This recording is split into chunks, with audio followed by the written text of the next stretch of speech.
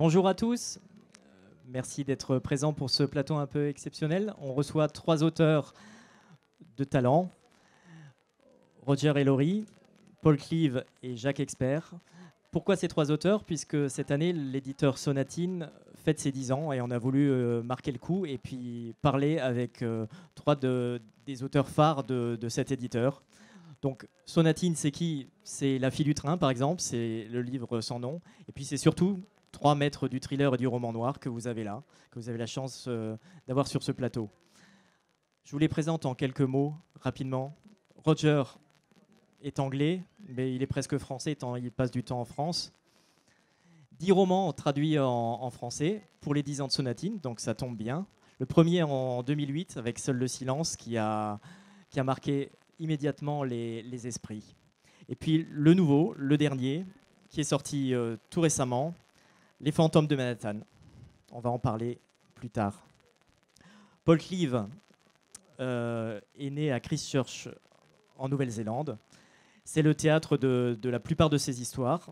Euh, il a sorti son premier roman chez Sonatine avec un employé modèle en 2010, suivi de sa suite, Un prisonnier modèle. Je ne vais pas tous les citer, mais on a aussi le, le dernier.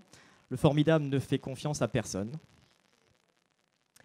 Et puis Jacques Expert, le français de la bande, euh, journaliste, grand reporter, même si je crois que tu te consacres principalement à l'écriture maintenant. On peut citer plusieurs romans chez Anne Carrière au, début, euh, la, femme, du monstre en 2007. Et puis euh, chez Sonatine depuis 2011 avec un premier roman qui s'appelait Adieu, c'est un peu un pied de nez pour démarrer avec un éditeur. Et puis Sauvez-moi qui vient tout juste de sortir. Voilà pour les présentations. Donc avant de parler de vos livres, juste deux, trois mots euh, de, de votre part. Roger, donc ça fait dix ans pour toi également. euh, c'est un peu ton anniversaire aussi, en même temps que Sonatine. Um,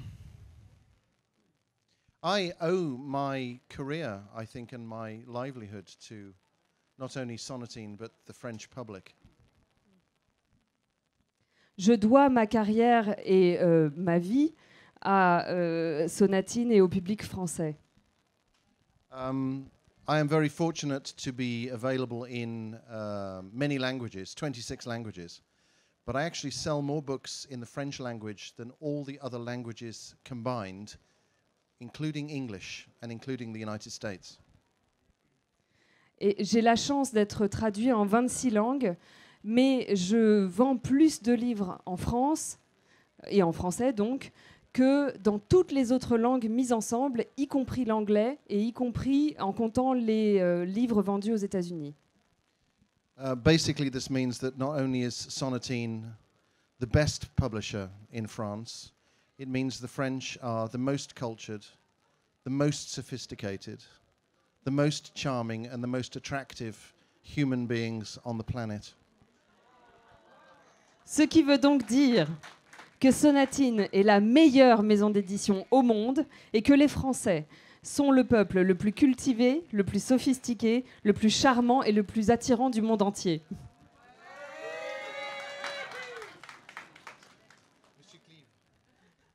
Mr. Yeah. Mr.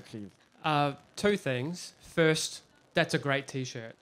I gotta say. Alors deux choses. Premièrement, bravo pour le t-shirt.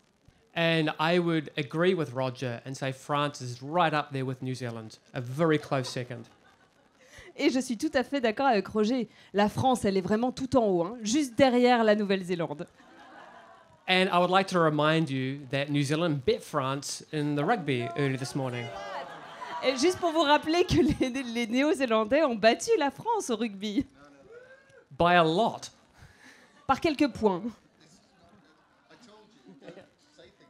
Je viens de te dire, ne dis pas ce genre de truc. But uh, again, jumping on what uh, Roger was saying, uh, France for me is also my biggest territory. And I think without uh, the work Sonatine have done, I would probably be living in a gutter and drinking there too. Euh, oui, mais plus sérieusement, comme le disait euh, Roger, pour moi aussi, c'est en France que je vends le plus. Et sans le travail de, de Sonatine, je ne sais pas où je serais. Je serais au fond d'un trou, euh, sans doute en train de boire. Yeah, and out, out of all the, the publishers I have, it's this is the one that feels like a, a family, which is what we uh, we said last time. Et de toutes les maisons d'édition avec lesquelles je travaille, c'est vraiment avec Sonatine que j'ai l'impression d'être dans une famille. Et c'est quelque chose qu'on dit régulièrement. And if we can all go, go All Blacks, Si seulement on pouvait dire Go All Blacks, référence au rugby. Jacques, en tant que représentant français, il faut défendre la. Alors je vais dire deux choses. D'abord, euh, c'est effectivement en France, moi aussi, où je vends le plus. Donc c'est la première chose. Et la deuxième chose, c'est qu'ils sont peut-être forts en rugby. En revanche, en football, ils sont pas forts, puisqu'ils sont même pas à la Coupe du Monde de foot en ce moment. hein. Euh, cela dit, pour parler de Solatine, euh, j'ai coutume de dire quand on me demande, c'est un peu la Romanée Conti, pour ceux qui connaissent le, vin, de la littérature. Pourquoi? Parce que c'est un petit cépage d'une vingtaine de pieds à peu près par an. Et euh, bon, après, j'ai la chance d'être l'auteur français, le pied français de cette, de cette maison d'édition. Et c'est ce qui me plaît pour avoir travaillé dans des maisons plus grandes comme ça. C'est euh, le côté, je pense que ce qui leur plaît aussi, c'est le côté euh, humain, direct qu'on peut avoir. C'est une toute petite maison. Il y, a, il, y a, il y a cinq employés dans cette maison qui est extrêmement exigeante sur, le, sur, euh, sur ses livres. Et dans mon cas précis, par exemple, quand je rends mon manuscrit, euh, j'ai euh, trois mois de, où on me fouette, pendant trois mois, un éditeur me fouette en me disant là ça va pas, là tu devrais rajouter, etc. Puisque je suis le seul français, je suis le seul sur lequel ils peuvent, ils peuvent s'acharder. Et comme je suis un peu euh, sadomaso, j'aime bien. Voilà. C'est comme avoir une deuxième femme. Oui, mais c'est tellement meilleur. hein. Allez, on va parler des livres. Allez, Jacques, on va commencer par toi. Euh, Sauvez-moi qui vient de sortir. Donc, si, si je dis que tu fais du thriller journalistique, est-ce que c'est une définition qui te convient? Thriller journalistique. Si on Euh, devait résumer en deux mots. ce oui, c'est tout moi, sauf évident. Euh, oui, parce que je, crois, enfin là, je dirais, c'est, euh, je suis rattrapé par ma propre euh, nature. Moi, je suis. euh, euh, quand j'étais petit, ma mère me disait que, que- ma mère me dit quand tu étais petit, tu voulais être journaliste. J'ai toujours voulu être journaliste pour le. Ce que j'aime dans ce métier-là, c'est qu'on a la chance de pouvoir passer de l'autre côté du, euh, pas du miroir, mais de l'autre côté du comptoir. Si on voit comment la cuisine est faite. Et quelque part, c'est vrai que moi, c'est cette culture-là qui m'habite depuis. euh, je suis journaliste depuis l'âge de 17 ans. À 17 ans, je suis parti en Afrique et je tournais un film en Afrique, euh, sur le pays d'Ogon, qui est une région au Mali, que, je voulais faire. Enfin bref, peu importe. Donc j'ai toujours. euh, après, je suis parti au Kurdistan à 18 ans, donc j'ai toujours vécu dans cette culture-là. Et, euh, et je pense que c'est plus fort que moi, mais effectivement, cette façon d'écrire et même ma façon euh, d'écrire est très journalistique. Je fais des phases brèves, etc. Et oui, je pense que ça. Et comme en plus j'ai couvert beaucoup de faits divers dans, ma carrière de journaliste quand j'étais à France Inter, c'est vrai que je connais bien ce milieu-là. Je connais bien le milieu judiciaire, le milieu policier, et c'est là-dessus, c'est là-dedans que j'ancre euh, les histoires de mes romans. Donc, dans, dans cette nouvelle histoire qui commence dans les, les années 90, Oui. principalement dans les années 90, euh, on rencontre des personnages de flics assez différents de ceux qu'on rencontre souvent dans les polars dits traditionnels.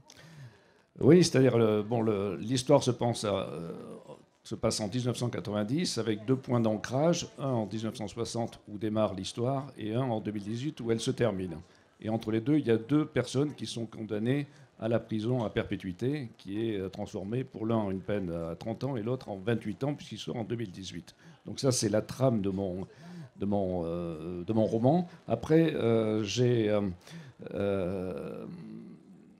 pour avoir fréquenté longtemps le 36, etc., je pense avoir assez bien euh, retranscrit l'ambiance qu'il peut y avoir, Ah oui, notamment très dans- réaliste. très réaliste dans ces et, et, euh, notamment sur les surnoms, sur la façon dont les dont les- il y a les relations entre les uns et les autres, à la fois de l'amitié qui peut se qu'il y a dans les brigades, le respect qu'on a pour ses pour ses patrons de pour ses patrons, c'est tout ça que je décris. Après, il y a une trame euh, qui est assez euh, On peut pas tout dire non plus. euh, euh, on ne peut voilà. pas tout dire, mais c'est vrai que je montre aussi quelques travers de la police.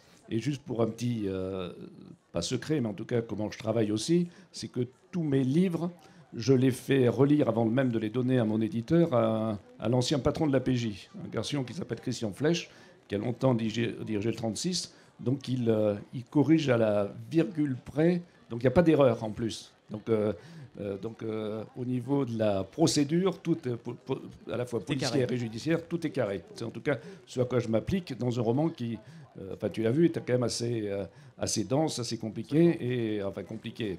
Il y a une histoire, mais enfin il, est- il faut aller, l'histoire est dense et il n'y a pas d'erreur, grâce à mon ami. Mais parce que j'ai des bons contacts avec, avec la police, j'ai fréquenté quand même pas mal, suffisamment longtemps pour savoir précisément comment comment ça marche et les personnages qu'il y, a, y a là. Et juste pour terminer, parce que je veux pas. ce qui me plaît dans la police, c'est que euh, plus que dans la gendarmerie, c'est l'aspect euh, corps qu'il peut y avoir. euh, la gendarmerie, il y a un côté militaire. Dans la police, il y a un côté plus, plus humain, je dirais. La, la gendarmerie, elle est carrée, manque un peu de fantaisie. Dans la, dans la, police, il y a une vraie fantaisie des, individus. Il y a des personnages, on rencontre des personnages assez incroyables, et c'est ça aussi que j'ai mis dans mes, dans mes romans. Merci. Paul, à toi. Euh, cet homme est fou, il faut le savoir. hein. Euh, tous ses romans sont dingues, mais euh, celui-là, autant que les autres, peut-être encore plus.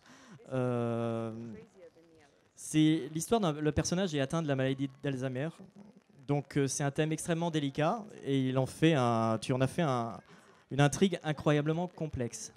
Yes. That's exactly what happened. um, so, so the book deals with Alzheimer's, which is, you know, like, like it's a really tricky um, subject, you know, when you have a, uh, a very unreliable narrator. But the thing about Alzheimer's is, is it can also, like, it's very dark and it's very heartbreaking, but there's also a lot of comedy in it as well. Euh, alors, effectivement, dans ce roman, je traite du sujet d'Alzheimer. Donc, c'est un sujet qui est difficile à aborder. Euh, c'est particulièrement compliqué d'avoir à gérer un narrateur auquel on ne peut pas se fier. Euh, et alors, il y a des aspects très, très sombres, très tristes, mais il y a aussi de la comédie. Parce que ton humour noir est extrêmement présent, encore plus que les autres romans, je trouve. Yeah, when I say there's a lot of comedy in Alzheimer's, what I mean is there's always a funny story you know, you know, uh, that, that you've heard somebody has done this and you think that it's really awful and really sad, but you can, you know, you can kind of laugh a little bit as, as well. Euh, quand je dis qu'il y a de l'humour dans cette maladie, euh, ce que je veux dire, c'est qu'on a tous entendu une histoire drôle de quelqu'un qui a fait quelque chose d'un peu absurde. Et effectivement, c'est affreux, c'est triste, mais on peut en rire aussi. But I always try to put as much comedy as I can into the books. Otherwise, it's just too too dark, too heavy. You know, you wouldn't wouldn't get through it. And and this particular book really, um, you know, was ripe for that sort of picking. I could just. uh, There's more opportunity for comedy in this book than, than any other that I've, I've written. Euh, J'essaye toujours de mettre de l'humour dans mes romans parce qu'autrement ce serait trop sombre, trop lourd, on n'en- viendrait pas à bout.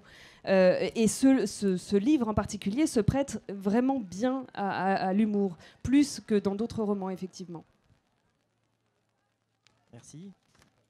Roger, Je je peux dire un petit mot? Bien Parce sûr. j'ai euh, j'ai lu le livre de, de Paul, qui est exceptionnel, vraiment. Enfin, je, je suis désolé d'être, euh, même si on est meilleur en football que vous, en littérature, tu as été super bon. Euh, parce que ce qui est, vraiment fort, c'est comment il, euh, traite la, la maladie d'Alzheimer. Son héros est donc atteint de la maladie d'Alzheimer. Et la façon, de- effectivement, pleine d'humour, mais comment euh, son, euh, héros, euh, sachant qu'il est lui-même victime de cette maladie d'Alzheimer, a le, sentiment lui-même de se tromper dans les certitudes qu'il a. Et ça, je trouve ça extraordinaire. Et il y a un final dans son roman qui est à tomber. Et je crois que les, bons romans, les bons polars, il n'y a, pas tellement de secrets dans les polars. Il, faut faire un bon début, mais un polar est réussi quand la fin est réussie. Et dans le sien, la, fin est exceptionnelle. Yeah, basically, what I haven't covered is that what the, the story is really about is it's a crime writer who is, is hit with early onset Alzheimer's. And as he begins to lose his memories, he begins to believe that what he based his books on are things that he has actually done in real life. So the book is about him learning you know, what he's done and trying to atone for it. Alors, ce que je n'ai pas dit, c'est que l'histoire, euh, en, un mot, c'est euh, mon personnage principal est romancier, il écrit des polars, et donc il est frappé d'Alzheimer relativement tôt dans sa vie.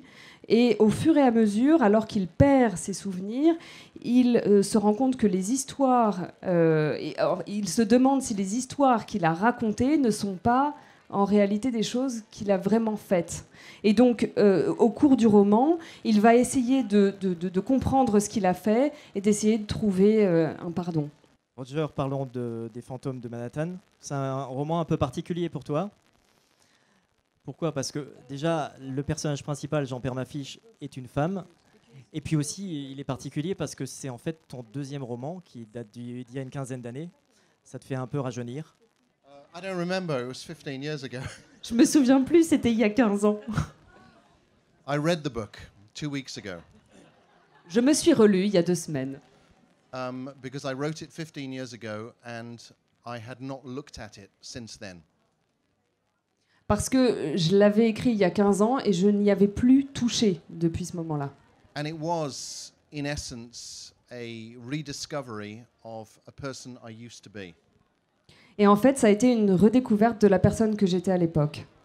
And I have been asked whether or not I would write the book differently now. And the answer to that question is no, but I don't think I would be able to write the same book again. On me demande souvent, est-ce que si tu devais l'écrire aujourd'hui, tu l'écrirais différemment? Et je réponds non, mais je ne pense pas que je serais capable de l'écrire aujourd'hui. The books I read as a child and as a teenager were the books that made me feel that the story belonged to me and that I was part of the story. Euh, ce que je lisais quand j'étais petit et adolescent, c'était des histoires où j'avais vraiment l'impression que l'histoire m'appartenait et que ça parlait de moi. As a writer, I want to create characters who are as real as people that you actually know. Et en tant qu'écrivain, j'essaye d'écrire des personnages qui euh, pourraient être aussi réels que des, des vraies personnes. When you finish a book, I want you to feel as though you're leaving behind friends that you've come to love and people actually sometimes that you've learned to hate. Et quand vous finissez un livre, ce que je veux que vous euh, ressentiez, c'est que vous quittez des amis que vous avez appris à aimer et des personnages que vous avez appris à détester. C'est encore plus fort dans ce livre, je trouve, ce que tu dis là. Yeah. Um, it is of no interest to me if people remember my name or the details of a plot or the names of the characters. Ça ne m'intéresse pas de, euh, de savoir si vous vous souvenez de mon nom, de l'intrigue ou du nom des personnages. But I hope that if you read a book like Phantom de Manhattan or les Silence or Vendetta, and then you see the book six months later, perhaps being read by somebody else, you will remember how the book made you feel and the emotional attachment you had to the characters. Euh, Mais j'espère que si vous avez lu Les fantômes de Manhattan ou Vendetta ou Seul le silence, si six mois plus tard vous voyez quelqu'un d'autre lire ce même roman, ce que j'espère c'est que vous vous souviendrez de ce que vous avez ressenti au moment où vous avez lu le livre et que vous vous souveniez euh, de combien vous vous êtes attaché au personnage. And the reason I chose to have a woman as a central character is because, as a writer, I felt it was perhaps the most uh, difficult and dangerous thing to attempt. Et si j'ai choisi une femme comme personnage principal, c'est parce que en tant qu'écrivain, c'était sans doute la chose la plus difficile et la plus dangereuse que je voulais tenter de faire. And despite the, uh, the great success of Sur les Silence, this book is still the book that I receive most letters and most emails about, and they're all from women. Euh, malgré le, suc- le succès de Seul le silence, Les fantômes de Manhattan euh, est le bouquin pour lequel je, reço- je reçois de plus, le plus de courriers, le plus de mails, et qui viennent tous de femmes. They're not all from the same woman. Et non, ces courriers ne viennent pas tous de la même femme. Um, most of them were from your wife. La plupart de la tienne, en tout cas. The rest were from your mother. Et le reste de ta mère. Of, of which I have neither. J'ai ni l'une ni l'autre. Merci beaucoup, on arrive euh, déjà au bout, ça passe trop vite. Merci euh, Roger et Laurie, merci Paul Clive, merci Jacques Expert. Bon anniversaire à Sonatine et merci à vous. Je vous invite à aller les rencontrer euh, et parler en direct de leur formidable roman. Merci.